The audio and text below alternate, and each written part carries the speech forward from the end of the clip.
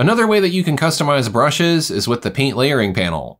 This was known as stroke attributes prior to Painter 2023. This can be found in the properties bar in the opacity flyout, or in the window menu brush control panels, brush media, paint layering.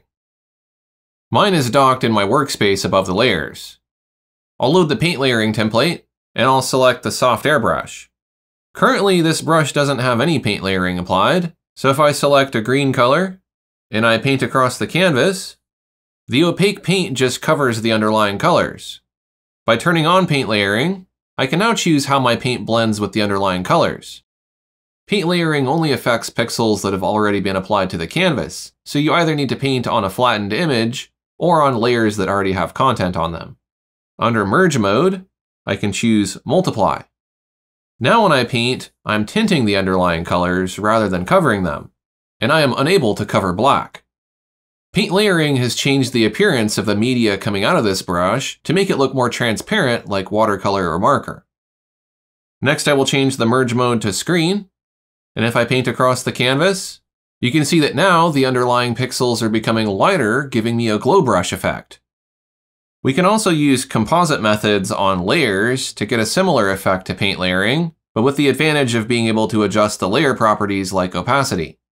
I'll select the multiply composite method. At first, the effect you get from composite methods looks quite similar to paint layering. But if I keep painting in one spot, it's never going to build up black because this is opaque paint that has reached 100% opacity. It only looks like ink because the layer is blended to tint the background. If I enable paint layering set to multiply, now I can build up that stroke and that will multiply the merge mode effect eventually creating black.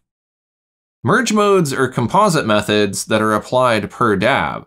You can see this by making an opaque hard edge brush and comparing two sets of overlapping dabs. There is also a slider to adjust the paint layer opacity. This makes each dab more transparent, reducing the overall strength of the brush. Merge mode can also be utilized by the glazing and fluid paint brushes. If I select the hard brush in the glazing category, you'll see merge mode is available in the properties bar. You can get some really interesting effects by playing with these merge mode properties.